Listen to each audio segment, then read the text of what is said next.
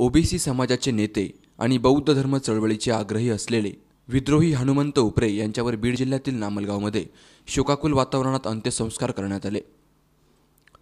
यावेळी उपस्थित असलेल्या अनेकांनी त्यांच्या विचारांची प्रेरणा घेऊन बौद्ध धर्माची दीक्षा घेतली. घर वापसी कार्यक्रम घेऊन हनुमंत उपरे यांनी ओबीसी समाजातील जनतेला मूलनिवासी असलेल्या बौद्ध धर्माकडे वळवण्याचे प्रयत्न सुरू केले होते. डॉक्टर बाबासाहेब आंबेडकरांच्या दीक्षा दिवशी पाच लाखांहून अधिक लोकांना बौद्ध धर्मात प्रवेश देण्याचं त्यांचं स्वप्न होतं. महाराष्ट्रातील थोर समाजसेवक धम्मसेवक. आज आपल्यातून निघून गेलेले. दोन हजार सोळामध्ये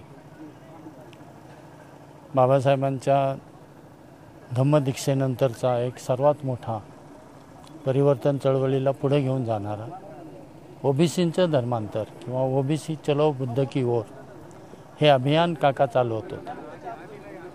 एक सोळाच्या अगोदरच हा काळाने घेतलेला जो कुठला त्यांच्यावरचा घाव आहे त्यातून परिवर्तन चळवळीचं फार मोठं नुकसान झालेलं आहे.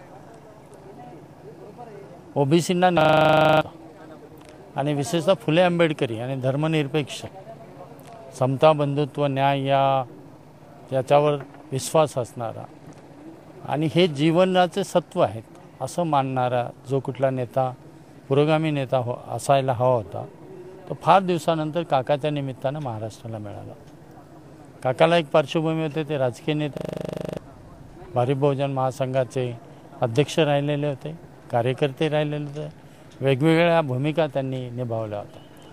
त्याच्यामुळे राजकीय संघटनाबरोबर सामाजिक आणि सांस्कृतिक चळवळ किती महत्त्वाची आहे? याचं भान काकांना होतं. आपण घर वापसीकडे जातो आहे आपण धर्मांतरापेक्षा आपला जो धर्म आहे तोच आपण परत एकदा जाहीरपणानं स्वीकारतो आहे किंवा मान्य करतो आहे या पद्धतीची एक फार मॅच्युअर भूमिका त्यांनी घेतलेली. मला वाटतं बाबासाहेबांच्या धर्मांतरानंतर जे पाझरणारं जे ज्ञान होतं आणि धर्मांतराचा जो भाग होता स्वतःची ओळख शोधला तो ओबीसीमध्ये काकांनी उभा केलेला होता. हा फार मोठं ऐतिहासिक कार्य. काकांनी केलेलं आहे आज काका गेलेत आणि त्यातून हा जो कुठला अर्ध्यावर राहिलेला हा जो अभियान आहे ते परत पुढे नेणे हीच खरी श्रद्धांजली त्यांना होण्याची शक्यता आहे. जाणमुळं राबणाऱ्या बहुजन समाजाचं फार मोठं नुकसान झालेलं आहे ते असं म्हणत होते की राबणाऱ्या बहुजन समाजाच्या दुःखाचं कारण इथलं ब्राह्मणी धर्म हिंदू धर्म आहे. आणि जोपर्यंत त्यातून मुक्त होत नाही राबणारा बहुजन समाज तोपर्यंत त्याच्या आयुष्यात सुख येणार नाही. म्हणून त्यांनी सगळ्याच ओबीसीना बलुतेदारांना हिंदू धर्मातल्या जनतेला स्त्री पुरुषांना बुद्ध धर्माचा आग्रह केला. आणि ते बुद्ध धम्म स्वीकारत नाही तोपर्यंत आपल्याला सुख मिळणार नाही असं ते परंपरेनं सांगत आले. त्यांनी एकूण दोन हजार सोळा रोजी बुद्ध धम्म स्वीकारण्याचा निश्चय केलेला होता. पण अचानकपणे आज ते सगळ्यांना सोडून गेलेले.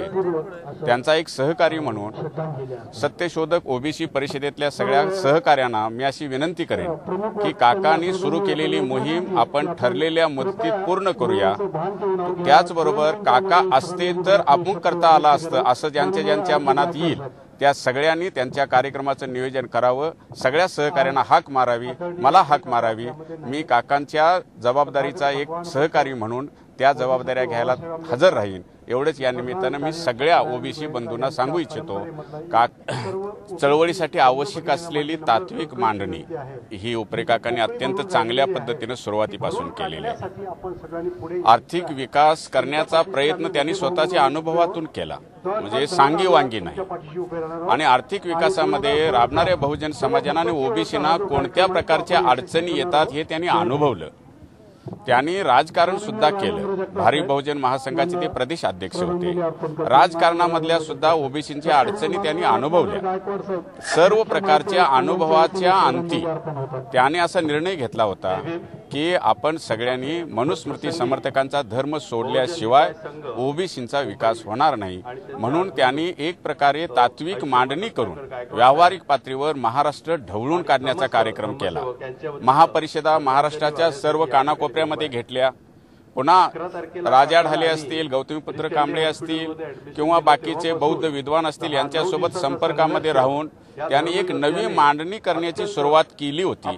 या दुःखद निधनामुळं की ओबीसीचंच नव्हे तर एकूणच परिवर्तनवादी चळवळीचं फार मोठं नुकसान झालेलं आहे. भारिप बहुजन महासंघाचे काही काळ ते प्रदेशाध्यक्षही होते. सकाळी नऊ वाजता त्यांच्या राहत्या घरी पार्थिव आणण्यात आलं. नंतर बीड शहरातून मिरवणूक काढून त्यांच्यावर दुपारी अडीच वाजता भंते यांच्या उपस्थितीमध्ये अंत्यसंस्कार करण्यात आले. वृत्तसंकलन विभाग सी चोवीस तास बीड.